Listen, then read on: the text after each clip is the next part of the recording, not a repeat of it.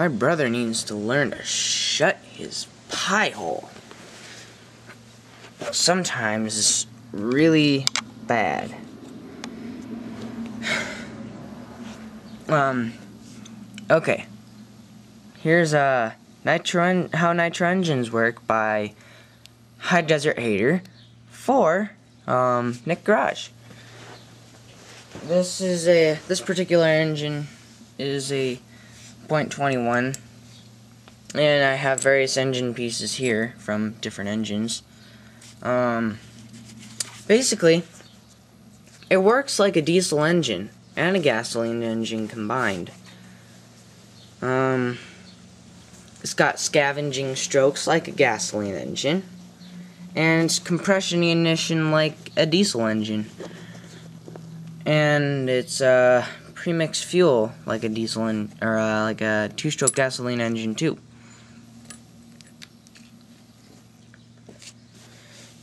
Um, basically, the parts we have here are a block and a crankshaft, a piston and connecting rod, and a sleeve, head, um, cooling tower, and a glow plug somewhere. But that glow plug is dead, so I'm going to use another one for this video. But basically, the uh, crankshaft and the piston is your valve. So you got your piston going up and down in here. It's compressed, it's ignited, keeps going up a little bit. Now it's traveling downward. And the exhaust gases come out. And the pressure from the crankcase pushes the fuel air mixture in through these holes. There's two boost ports,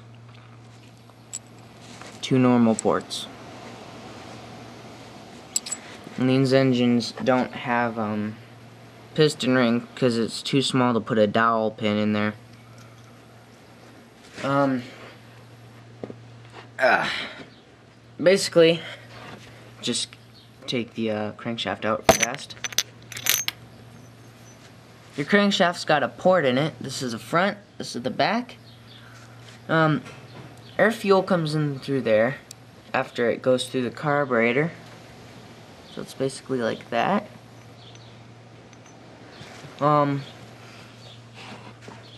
and goes in this hole and the piston is traveling up because that's when suction in the crankcase is happening. And that's what pulls in your fuel air mixture. And then it's compressed as the piston is going down. And then right about now, the pressure is big enough for the uh, uh, air to be scavenged into the combustion chamber. And then it goes up a little bit and the crank port opens again, or the crank port meets up with the port in the block. And then the piston's traveling up again, and it just repeats itself as the piston moves up and down, and the crankshaft turns. Um,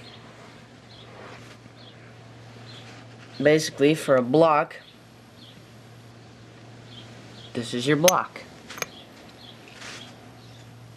It's got support inside for the uh, cylinder or sleeve deal. And it's got a hole for the exhaust. And basically, after the exhaust leaves the combustion chamber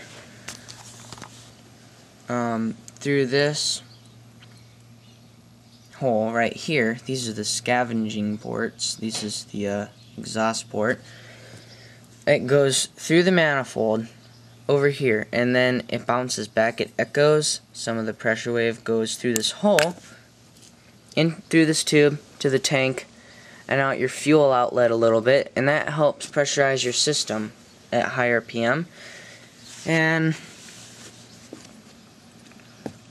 basically your uh, piston but depending on how your engine is timed and how you have it set and stuff, your uh, throttle and mixtures and junk like that, your engine will run at a max speed of in between like 10,000 and 40,000 RPMs. It's very fast. And then at a low speed of between like 800 RPMs and like 6,000. Those are idle speeds. Um, for a carburetor, you basically have uh, almost like a, a dirt bike carburetor. It's a slide carburetor or rotary carburetor. Right here I have a slide carburetor. Pull it open. Has three mixture screws, a mid, high, low, and your idle adjustment to keep your idle from going too low. Just pull off the air cleaner. It's just like a, uh, it's just a foam sponge. Um, it's not, it's supposed to sit really nice in there with no openings like that. It's supposed to sit in there just like that. That's not an opening, that's to keep it in there. It's a little plasticky piece. Um, here's a carburetor. Air comes in through the venturi like on a normal carburetor. Goes in through here into your crank port, and there's a slide to control your speed. Right now I have the idle mixture all the way in, so it's, um, once you get right around here, the uh, pin slides out of that hole. And, um, yeah, don't make, I, I know what this looks like, you know, but it's, uh, you know, yeah, um, and your, uh, motor runs a little bit richer when that happens, so that it, um, can run good at high RPMs. And at low RPMs, because it's a slide carburetor, it's closed on the other side too. And basically that'll act like a choke and low throttle, you know, deal there.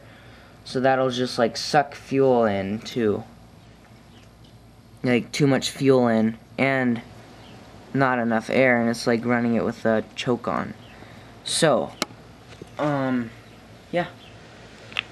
Basically, that's how Nitro RC car engines work. And now I'm just going to show you some of the parts. This is the crankshaft and its port. You already saw this. This is the sleeve. It's ABC with an aluminum piston brass sleeve and it's chrome plated on the inside. This is a steel crankshaft cast iron or aluminum block composite aluminum or cast iron carburetor with brass needles and stuff. Um, and a back plate to keep all your pressure in the crankcase with a little starter pin deal. Starter shaft and plate or pin or whatever your engine has. This one has a starter plate. It's basically a pin and a spring and that rides on there like that. It's like a ratchet, you know. Now my finger's catching, now it's just like, yeah, Ow, It's really sharp. I don't know. And then you got a glow plug too for starting it. I don't know if this glow plug is on though. I don't know if it's a good plug. It's barely good. It's like burnt out most of the way. And then you have your uh, head and that's where a glow plug is. You have in between one and like eight head shims. Here is your cooling tower, cooling head, heatsink. This sits on top of the head, does no sealing, but it really helps your engine be cooler. And this is your flywheel. As you can see, it has no magnets, but it has two posts for um, your clutch shoes. And yeah, you know, just kind of sits on there like this with a collet. You know, it's collets shoved in there, or it's slid onto the crank, and then you just kind of shove your flywheel on there. And then you bolt it down so that it won't move.